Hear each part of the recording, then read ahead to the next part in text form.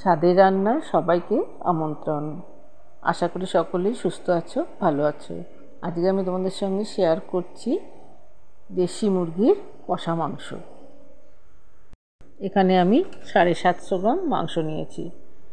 মাংসটাকে ভালো করে ধুয়ে, পরিষ্কার করে এতে একে একে দিয়ে দিচ্ছি এক চামচ পরিমাণ আদা বাটা, এক চামচ রসুন বাটা, দিয়ে দিচ্ছি দু চামচ হলুদের গুঁড়ো এক চামচ পরিমাণ লবণ, এরপর দিয়ে দিচ্ছি তিন চার চামচ সর্ষের তেল। এরপর এতে দিয়ে দিচ্ছি শুকনো লঙ্কার গুঁড়ো, হাফ চামচ। আমি একটু কম শুকনো লঙ্কার গুঁড়ো ব্যবহার করেছি। তোমরা যে যেরকম ঝাল পছন্দ করো, সেইভাবেই লঙ্কার গুঁড়োটা দিয়ে দেবে। এরপর এতে দিয়ে দিচ্ছি কাঁচা লঙ্কা বাটা এক চামচ। এবার সব উপকরণগুলোকে হাতের সাহায্যে খুব ভালো করে মেখে নিচ্ছি। ভালো করে মাখিয়ে নিলে মাংসের মধ্যে মশলাগুলো ঢুকে যাবে, এতে মাংসটা রান্না করলে এর স্বাদ ভালো হবে।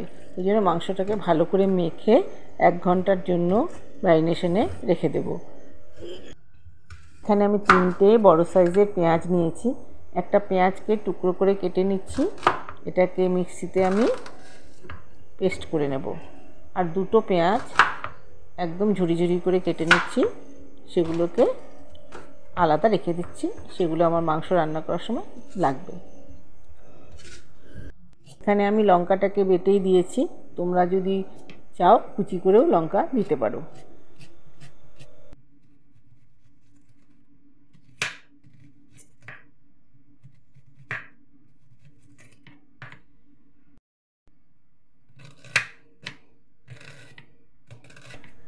দেশি মুরগির ঝোল তৈরি করলে আলু দিলে ভালো হয়। কিন্তু আমি এখানে যেহেতু কষা মাংস তৈরি করব সেই জন্য এখানে আমি কোনো আলু দিচ্ছি না।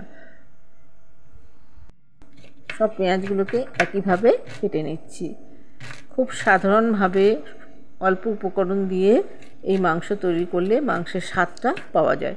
বেশি মশলা দিয়ে মাংস রান্না করলে মাংসের যে নিজস্ব স্বাদ, গন্ধ আছে, সেটা অনেক সময়ই পাওয়া যায় না। সেই জন্য আমি খুব কম মশলা দিয়েই এই মাংসটা তোমাদের তৈরি করে দেখাচ্ছি।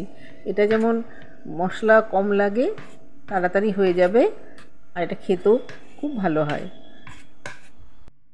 এখানে মুরগিটা যদি ছোটো সাইজের হয়, তাহলে মাংসটা বেশি সুস্বাদু হয়। দেশি মুরগি একটু ছোট নিলেই মাংসটা খেতে বেশি ভালো হয়।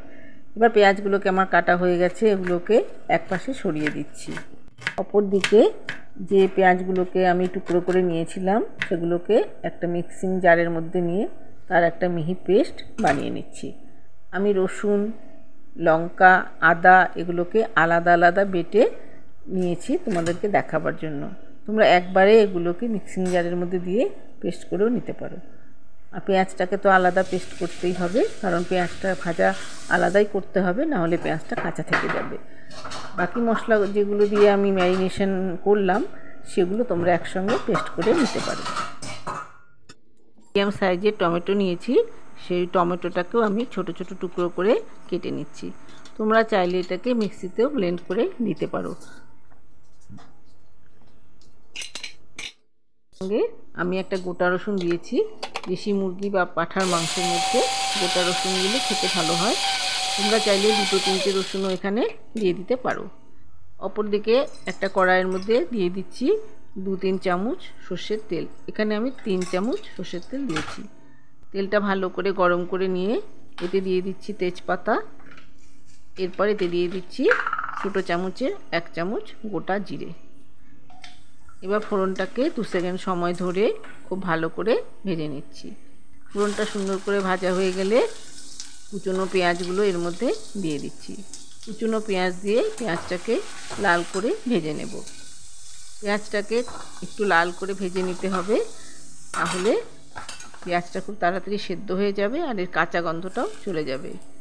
এরপরেতে দিয়ে দিলাম একটা গোটা রসুন আর দিয়ে দিচ্ছি ছ সাত কোয়া ছাড়ানো রসুন।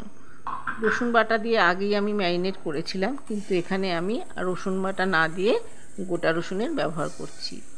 এরপর যে পেঁয়াজটা আমি পেস্ট করে রেখেছিলাম, সেই পেঁয়াজের পেস্টটাও এর মধ্যে দিয়ে দিলাম। এবার সব উপকরণগুলো খুব ভালো করে কষিয়ে নিতে হবে। মাছটাকে খুব ভালো করে ভেজে নিতে হবে। ততক্ষণ পর্যন্ত ভাজতে হবে, যতক্ষণ পর্যন্ত পেঁয়াজের কাঁচা গন্ধ না চলে যাচ্ছে। পেঁয়াজটাকে খুব ভালো করে ভেজে নিতে হবে। পেঁয়াজটাকে ভালো করে ভেজে নিয়ে এরপরেতে দিয়ে দিচ্ছি সামান্য হলুদ।